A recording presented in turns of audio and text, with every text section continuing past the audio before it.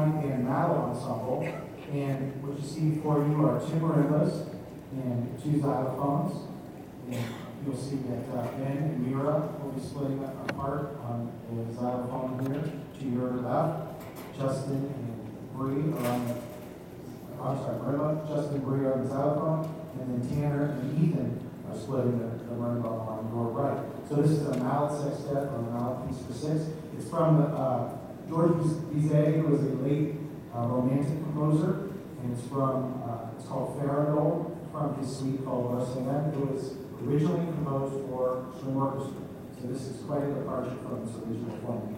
So again, how about a round of applause for our mallet and the